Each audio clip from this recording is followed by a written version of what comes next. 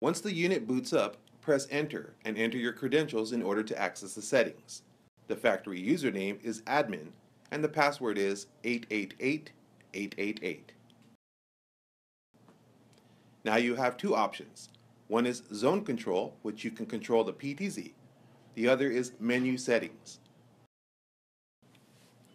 Next, you want to go to DHCP to set up your own IP address.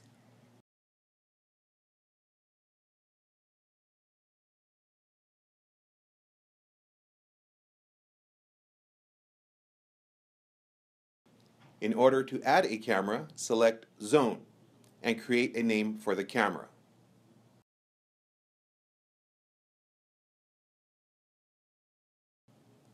You can set type to whatever you want. Here we use DVR. Then enter the camera's static IP address. After that, set the username and the password.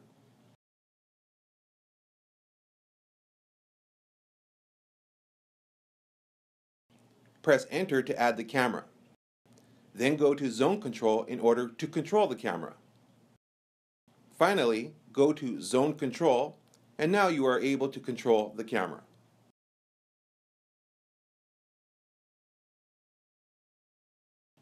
Thanks for watching.